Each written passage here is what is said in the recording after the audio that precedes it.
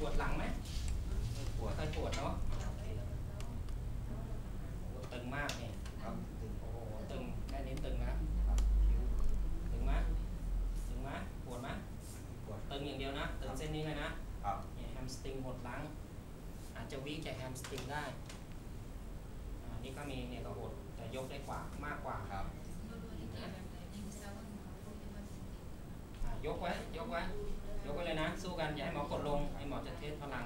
สู้ สู้ สู้ โอเคโอเคงอเข่า งอเข่าอะนอนคว่ำที่น่าจะหดล้างมากกว่าไม่มีแรงเราไม่ได้ออกกำลัง นอนคว่ำไปจ้ะอ่อนแรงขาเดียวใช่ไหมขานี้ดูความรีบก็ ก็ไม่ไม่หนีกันเท่าไหร่นะแต่ขาผิวแห้งมากเลยเนี่ย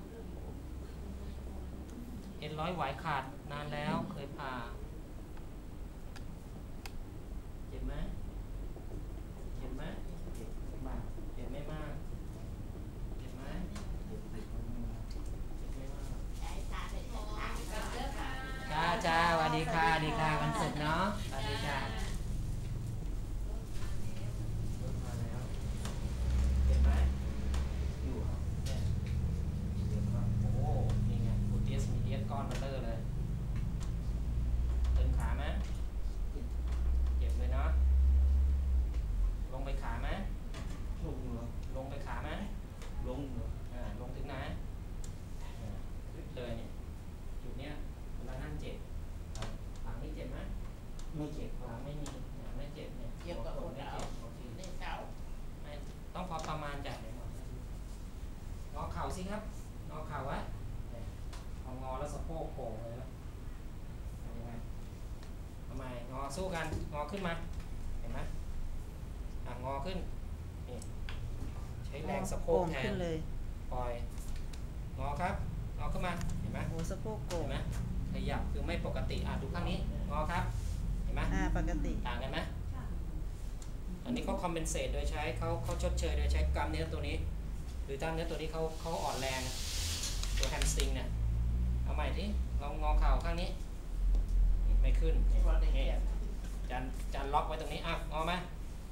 อึ๊บอึ๊บอึ๊บดันสู้เขาดันเขาเคยตัวเลยเขาใช้ตัวนี้ เห็นไหม นี่เราต้องแยกให้ดีว่าเข่าเขา อะเดี๋ยวงอธรรมดานะอย่างนี้อะตั้งไว้เฉยๆดิไม่ต้องโงกไม่ต้องยกเองเขาเคยแล้วอะปล่อยไปนะอ๋อปล่อยมือนะไม่อย่าให้หล่นนะทำไมนะปล่อยมาเกรงเกรงเกรงขาตรงนี้ไว้ปล่อยนะอย่าให้หล่นนะเห็นไหมหล่นเห็นไหมข้างนี้ปล่อยนะเห็นไหมไม่เป็นไรเห็นไหมมาได้นะเป็นแฮมสตริงนี่อันนี้เราตรวจแฮมสตริงเขานี่หมายถึงออนไลน์กล้ามเนื้อ อ่อนแรงแต่ทำไมอ่อนแรงแค่ไหนเราดูอะงอขึ้นที่เห็นไหมเขามาคือไม่ได้ร้อยไม่ได้เป็นศูนย์นะค่ะคืออยู่ที่ไม่ถึง 50%แค่นั้นเอง แรงมีไม่ถึง 50มันเนี้ยแต่ถามว่าทำไม ชาไหมไม่ชาใช่ไหมยากครับโอเคเคยผ่าตัดที่ที่หลังอะไรมีไหมไม่มีครับไม่มีเนอะมีเย็นร้อยไหวคนเดียวเอ็นร้อยไหวตรงเดียว แต่หลังผ่าตัดมาก็ไม่เป็นไรครับเพิ่งมาเป็นได้กี่ปีแล้ว มันหืมสี่สามสี่ปีครับสามสี่ปี แล้วทำงานอะไรอยู่ก่อนหน้านั้นทำงานก่อสร้างครับก่อสร้าง แล้วก่อนที่จะเจ็บเนี่ย ก่อนที่จะเดินไม่ไหวเนี่ยมีอะไรผิดปกติบ้างตอนนั้น ไม่ มันก็อ่อนมาเรื่อยๆครับก่อนมาเรื่อยๆใช่ไหมแต่ส่วนอื่นเนี่ยมันไม่มีปัญหาเอาใหม่นี่งอขึ้นมา ปล่อยลงงอขึ้นมาป ล่อยลงงอขึ้นนี่ปล่อยลงงอขึ้น แต่ไม่เจ็บเลยใช่ไหมครับมีเจ็บอยู่สะโพกจุดเดียว นี่เคสอย่างนี้เขาเรียกเคสอ่อนแรงนะ มันไม่มีอาการปวดร้าวหรือเจ็บ แต่เกิดจากกล้ามเนื้อ weak เนี่ยนี่วิธีการรักษาเนี่ยเราก็ต้อง train เขา train เขาโดยการให้สอนให้เขาทำทีนี้เรา test จากก่อนว่ากำลังเขามีประมาณเท่าไหร่ อันนี้ถ้าเรา หงายไอนอนคว่ำเนี่ยนะเวลางอเข่าเนี่ยเป็นกล้ามเนื้อแฮมสตริงทำงานโดยตรงนะกล้ามเนื้อแฮมสตริงจะต้องดึงขาขึ้นไป แต่นนี้เขาดึงไม่ได้ 90 องศาไม่ไม่ขึ้นมาเนี่ยแสดงว่าแรงอยู่ต่ำกว่าระดับ 50%แต่ถามว่าเขาอยู่กี่เปอร์เซ็นต์อ่า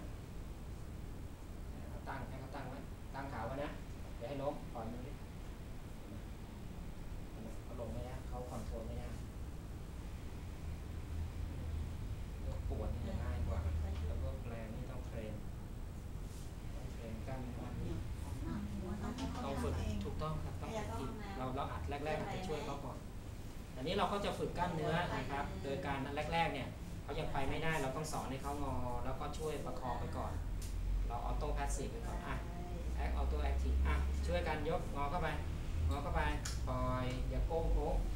ใช้เราล็อกล็อกตรงนี้ไว้นะออกแรงที่ตรงนี้นะครับพยายามออกแรงตรงนี้แต่นี่เขาเคยแล้วไงทีนี้ตอนนี้ที่เขาพาขาไม่ได้เพราะเขาใช้กล้ามเนื้อก้นเยอะ เป็นตัวดึงให้ตรงแล้วก็งอ งอเข่างอเข่างอเข่างอเข่างอเข่างอเข่าเห็นไหมเขาโก่งขึ้นเลยปล่อยลงอะงอเข่างอเข่า โอ้โหลุกเลยเขาเกรงตัวนี้ทันทีเลยจ้ะเหมือนเอาตัวนี้มาชดเชยอย่างนี้เรื่องยากหนักกว่าเรื่องเนี้ยเรื่องเจ็บปวดอะไรพวกนี้มันอันนี้มันเป็นการฝึกเขาโดยตรงเลย จะต้องฝึกเขากล้ามเนื้อเขาไม่สั่งงานทำไมไม่สั่งอะสาเหตุงงน่าจะมีไม่รู้สาเหตุว่ามาจากแรงไหนถ้าอ่อนแรงมันมักจะเป็น ส่วนปลายปลายๆแล้วก็ต้องเป็นสองข้างค่ะอันนี้มันเป็นข้างเดียวหาเส้นนี้ดูเห็นไหมอีกแฮมสตริงอาจจะตึงด้วยหรือเปล่าตัวแฮมสตริงเขาตึงด้วยก็อาจจะวีกก็ได้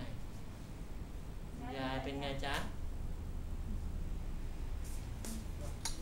เออ จ้ะแต่ยังปวดอยู่ เออบ้างนะ เดี๋ยวค่อยๆดีขึ้นจ้ะเออทานยาอ่าเดี๋ยวเช็คนู่นขึ้น